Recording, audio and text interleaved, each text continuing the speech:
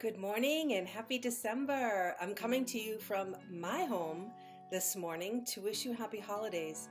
I can't believe it's almost the end of 2020, and unlike other people who are like, get rid of this year, I've been okay with it. I've learned a lot and I've grown a lot, and I hope you have too.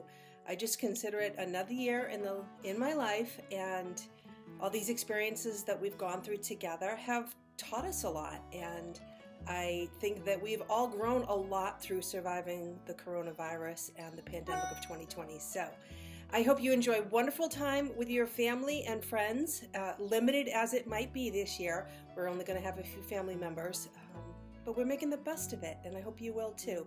So, hopefully, real estate will increase in 2021, and we'll be able to put some more properties on the market, get some more buyers into their dream homes, and make some more real estate happen. so, I will see you in January of 2021. Happy holidays and stay safe.